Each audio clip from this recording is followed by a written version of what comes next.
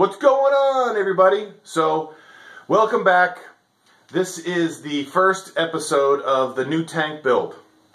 Behind me is a deep blue 75 gallon non-tempered tank. I couldn't go any bigger. The wall is just about five feet from corner to doorway, so I couldn't fit a six foot tank in there. And because the dining room table is right here, I couldn't put a two foot tank sticking out because every time somebody walks by, they're going to hit the tank or back the chair into it, and I'm not having that. So 75 gallon is what I'm doing.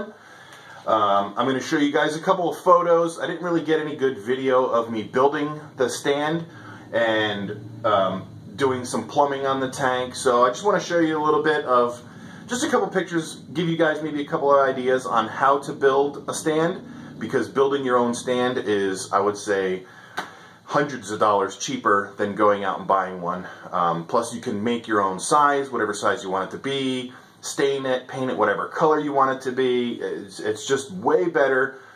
And if you're not good at building stands, you could probably look up on the internet and find a handyman to build it for you, and it would still be probably half the cost. Um, so that's my number one recommendation when starting a new build is build your own stand. Uh, it doesn't matter what size the tank is, uh, unless it's something like where you have a coffee table and it's a little 10 gallon tank, then just put it on that. But otherwise, build your own stand. It's definitely the way to go. It will save you ridiculous amounts of money.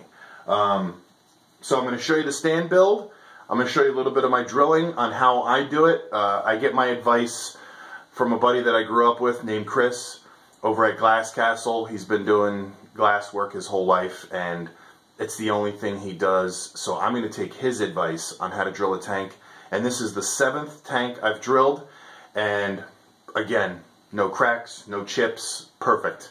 So maybe that will help you as well on how to drill a tank.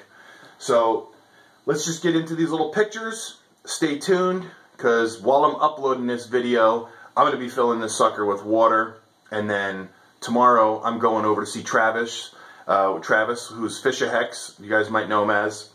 Um, he's going to be swapping out a Marine Pure block with me, um, giving him a fresh one. He's going to be giving me one that's been in his system for a while. And if you guys know Fishahex, Fishahex his systems are legit, spotless, clean. So that's how I'm cycling this tank. I'm going to be using the 4 by 4 by 8 by 8 block of Marine Pure and it's going to pretty much cycle this tank overnight.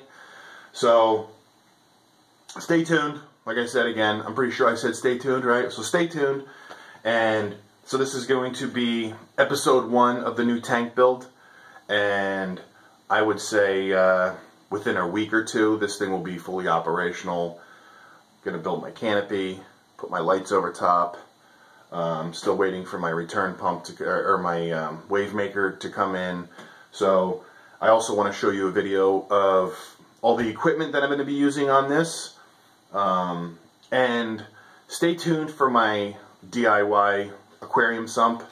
It's not going to be my basic, you know, fish tank with corian baffles. It's, oh, you know, obviously a one-of-a-kind, only one like it in the whole world. The entire sump is made out of corian, completely molded edge to edge, baffle to baffle, with three glass windows. It's to me, it's going to be pretty sick and legit looking.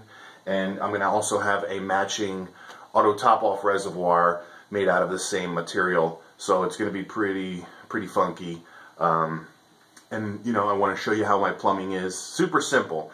I like my stuff super simple. I'm not, you know, I'm not good with gadgets, with apexes, and I mean, I barely know how to make a video.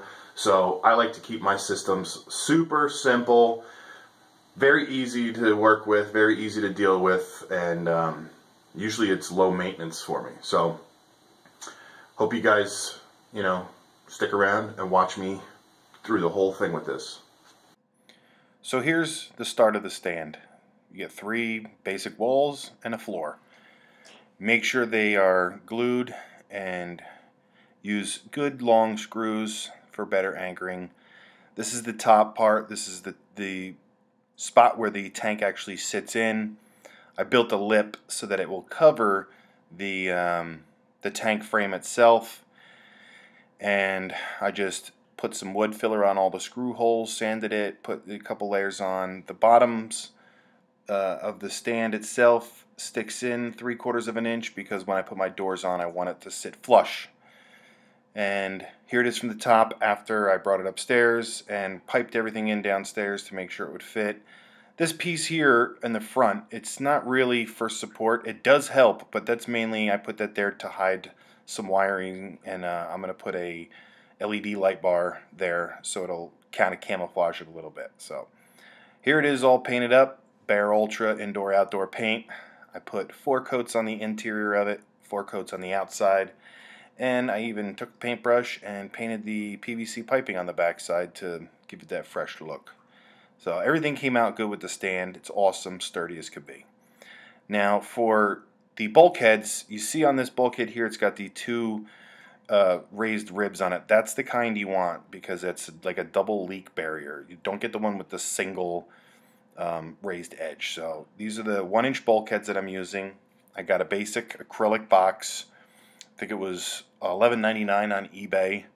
This is rated for I think 3,000 gallons an hour. So um, I did a rough sketch on where the box was going to go, but I did a really good centering for my holes and just got prepared. I used duct tape on the bottom of the hole so this way while you're drilling at the very end when you pop through it doesn't pull any of the glass away. So get a little bit of water flow going. Now I've been drilling tanks for a little while now. This is my seventh tank like I said before so I don't really use a um, a special machine to hold it in place or anything like that. I just freehand it, go a little bit at a time, make sure I'm hitting my mark. If, I, if it's a little off, it's fine. Just don't move the drill bit, keep it going. The advice that I got was, you know, use water. You don't have to have a ton of flow, just a continuous flow. And run the drill as fast as you can. The, the faster the drill goes, the better the cut will be. Um, you're relying on your drill bit. Just like everybody said before, don't push on the glass. Let the weight of the drill be as much weight on the glass as possible and you'll get a nice clean cut. So super fast drilling, good amount of water, and don't push on the glass. Let it just let it rip. You can see the first hole came out totally perfectly smooth. Um, that first one there is actually going to be my emergency overflow. I'm running the Herbie method. So here I punch through again on the second one and you can see that duct tape. It holds that that little last piece of glass steady so it does it's not flimsy. It doesn't pull away at, at the glass if I'm if I am drilling on a little bit of an angle and one side's going to go before the other that duct tape is going to help so it doesn't crack or make any big chips. You're always going to get a little chip. Um, I think on this first hole I had zero chips. The second one I had the, the tiniest little edge. You can't see it here, but when I flip it around, see it's perfect there. And then right there on the bottom right, there was a little bit, but nothing really to be worried about.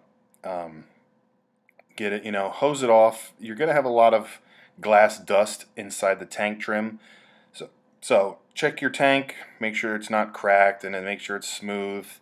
Give it a little wipe before you go too heavy on cleaning it because what's the sense in cleaning your tank if you cracked it, right? So give it a good wipe, give it a good inspection, and then hold the tank upside down, put it right, you know, right side up, sideways, and just hit it on every angle with as much water as possible. Just let it flow, let all that stuff get out of there. It's not really going to hurt you or anybody else or the fish, but you, you, probably don't want some sand sifting gobies you know, a year from now, sand sifting, and then all of a sudden they get a mouthful of glass powder. Probably not going to be good for his insides.